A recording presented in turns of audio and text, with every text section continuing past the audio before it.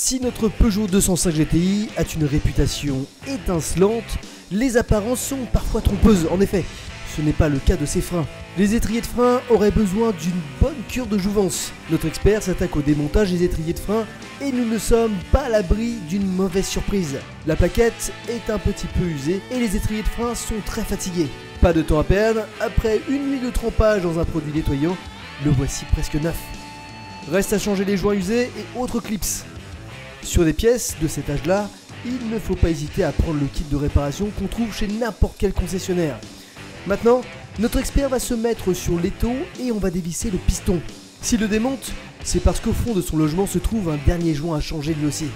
C'est un piston en très bon état. Ce petit joint, c'est lui qui fait l'étanchéité. Ultime nettoyage, une fois les joints enlevés, on peut maintenant remonter l'étrier.